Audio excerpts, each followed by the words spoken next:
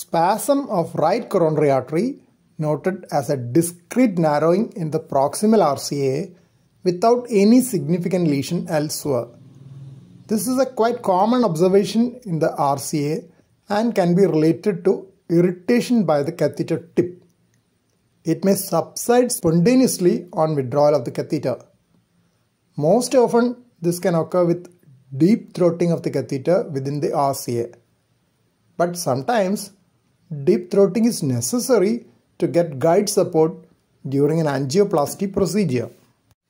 Occasionally, intracoronary nitroglycerin is given to relieve the spasm before taking a repeat shot to demonstrate relief of spasm.